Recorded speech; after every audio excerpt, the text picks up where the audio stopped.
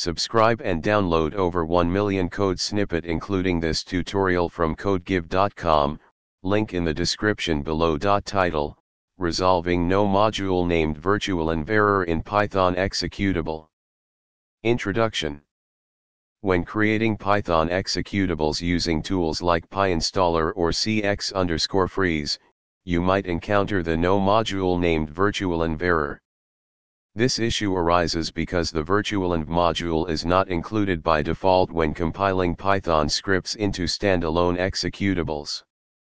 This tutorial will guide you through resolving this error and ensuring your executable works seamlessly. Step 1, Install virtualenv. Before proceeding, make sure you have virtualenv installed on your development machine. If not, install it using the following command. Step 2, create a virtual environment. Create a virtual environment for your project. Navigate to your project directory using the command line and run. Activate the virtual environment. On Windows. On Unix or Mac OS. Step 3, install required packages.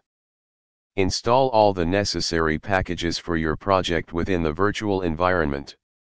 Replace package 1, package 2, etc., with the actual names of the packages your project depends.